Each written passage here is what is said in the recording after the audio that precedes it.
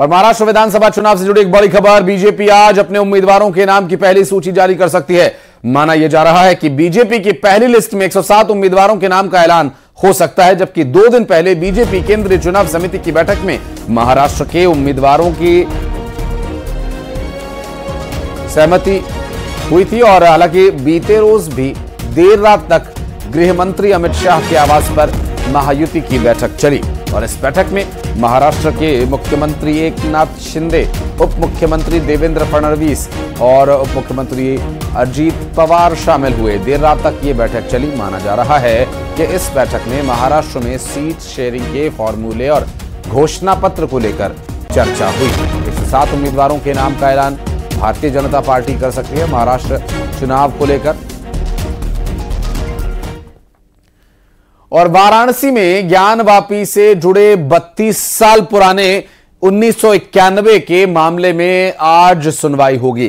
पिछली तारीख पर मंदिर पक्ष ने कोर्ट के सामने अपनी दलीलें रखी थी और ज्ञानवापी के अतिरिक्त एएसआई सर्वे की मांग भी की थी। हालाँकि यहाँ मस्जिद होने का दावा करने वाले पक्ष ने इस मांग का विरोध किया और इस पर अपनी बात रखी। रखी जानी हालाँकि ज्ञानवापी मामले से जुड़े उन्नीस सौ इक्यानवे के बाद स्वयंभू एंशियंट अलाइड लॉर्ड विश्वेश्वर के मुकदमे में सुनवाई जारी है।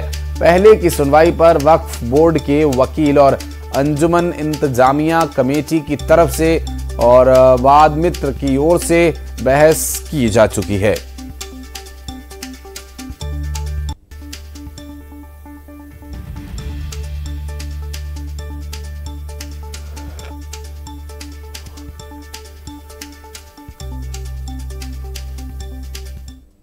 और 20 अक्टूबर, प्रधानमंत्री नरेंद्र मोदी अपने संसदीय क्षेत्र वाराणसी के दौरे पर रहेंगे। दीपावली से पहले काशी पहुंचकर पीएम मोदी कई परियोजनाओं का शिलान्यास और लोकार्पण करेंगे। पीएम मोदी के दौरे को लेकर तैयारियाँ ज़ोर शोर से चल रही हैं। सभी चौराहों और घरों को सजाया जा रहा है। काशी में अलग अलग चौराहों पर पुष्प वर्षा कर प्रधानमंत्री नरेंद्र मोदी का भव्य स्वागत किया जाएगा।